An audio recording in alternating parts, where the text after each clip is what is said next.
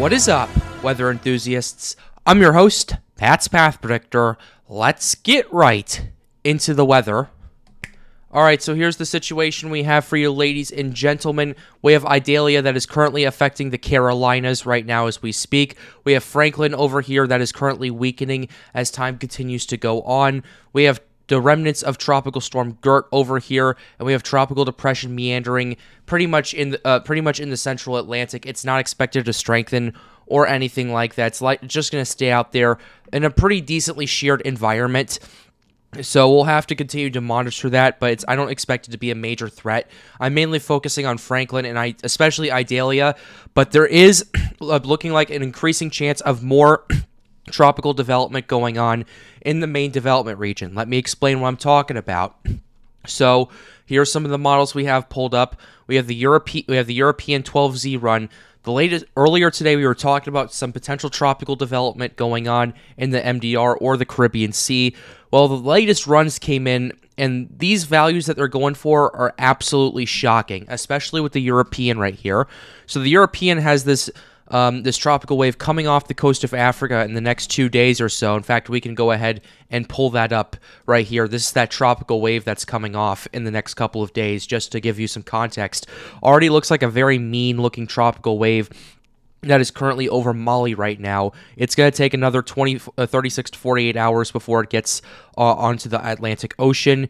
And from there, it's expected to rapidly organize and rapidly intensify. So here's where we're at at about four days out. This thing already looks incredibly healthy coming off the coast of Africa and starting to organize and de- uh, develop starting in about five days or so. So I would not eh, I would not be surprised if they issue tag an area of interest in for this area in the next day or so. So we'll have to monitor it as time continues to go on. But already we're at four six days out. We're looking at a potential tropical storm as this thing really rapidly organizes and rapidly potentially rapidly intensifies. And according to the European, it does just that because by 180 hours out, we're out down to a 998 millibar tropical storm.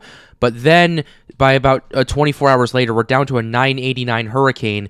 And then here we go. Uh, here we go. These this continues to organize and intensify at a very alarming rate. Gets down to a 960 millibar system by the time it approaches the Lesser Antilles about 10 days out on September 9th. So we'll have to pay attention to that as time continues to go on. Keep in mind that's just one model run of the European, and we'll show you some others just to kind of under uh, show you what the aggregate's looking like.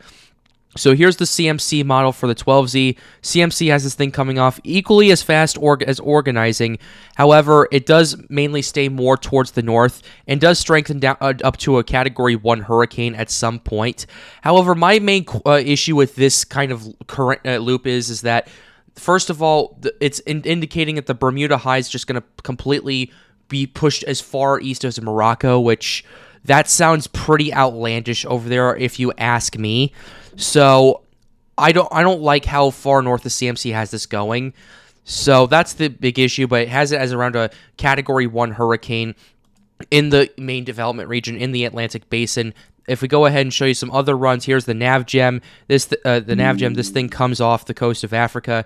It does take some time to organize and develop, so we'll have to wait and see as we continue to get uh, more uh, more runs. So, yeah, we'll have to uh, we'll have to monitor it. We'll go ahead and show you the icon as well. We'll go ahead and show you the 12Z icon.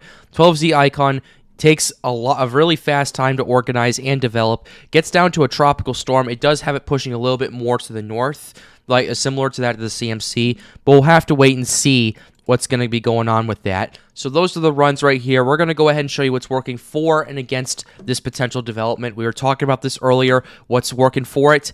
Easily the global sea temperatures any, anywhere it goes at this point, it's going to be in 28 to 29 plus degrees Celsius temperatures or 82 to 84 degrees Fahrenheit for those of you living in the United States.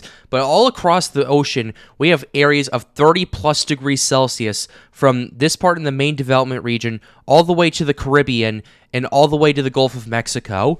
So that is a very, very, very concerning situation right there. And if this thing takes advantage of the extremely warm waters, well, it's going to have no problem organizing and no problem rapidly intensifying. And also, what's going to be working for it is the insane ocean heat content. Now, by the time it gets out into the main development region, it isn't expected to really get uh, really en- encounter a bunch of OHC around maybe tw- uh, maybe 50 at the max until it gets to uh, until it gets to about 45 degrees west. But then by the time it does, it enters into an area of easily 75, then 100, then 125 OHC until it enter until it gets to the Atlantic Basin or it enters the Caribbean where it starts seeing even more OHC. So this is something we absolutely have to monitor as time continues to go on with especially with how much uh, how much gas this ocean has for, to fuel these systems. So that's another thing working uh, for it.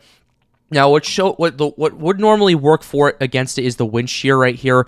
However, looking at it right now, the wind shear, especially in the western half of the main development region, is very favorable for development. If we go ahead and show you the eastern Atlant- uh, Atlantic as well, just to give you some perspective, it there is a bit more wind shear over here right now, but based on some of the, the shear forecast we're about to show you, it is forecast to weaken, and we'll show you that in just a, a second, but I want you guys to kind of understand what I'm looking at.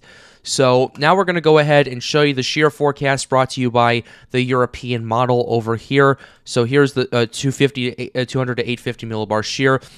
I'd say over the over the next 48 hours, the shear remains kind of right here. However, as the, soon as this tropical wave comes uh, off the coast of Africa, that shear does start to weaken a considerable amount right here. And by the time this thing starts to organize and fully develop, the shear around uh, the shear around it weakens considerably as the shear is mainly getting pushed up to the uh, to the north uh, by this area of interest over here that's currently in the Atlantic Invest 94L as a matter of fact.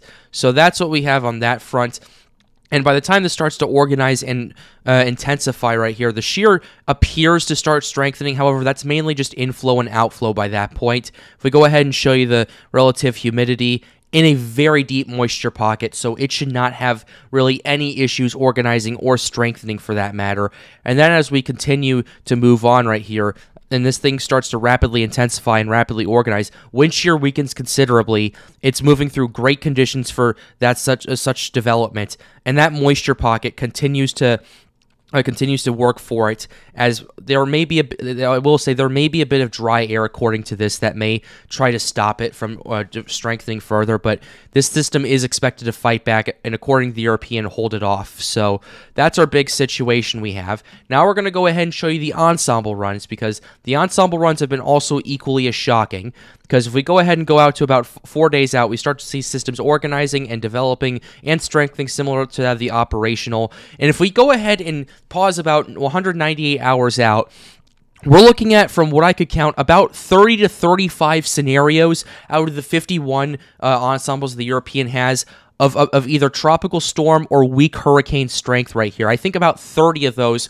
are around hurricane strength. So this is a very serious situation we have right here, and this continues to organize and strengthen. Some of them get down to the 920s uh, pressure, and they did earlier with the zero Z runs as well. So this is something we have to take very, very seriously. And especially if this thing ends up hitting the Lesser Antilles or even the Greater Antilles, it's going to be causing a lot of issues over there. So this is something I'm going to continue to monitor as time we as time continues to go on. We're closing the video out right here. Hope you enjoyed it. Be sure to leave a, a like, subscribe to the channel if you are new. Helps us out, helps us make more videos like these. The goal of this channel is to get more people engaged with weather. But with that being said, have a wonderful day, guys. Stay safe.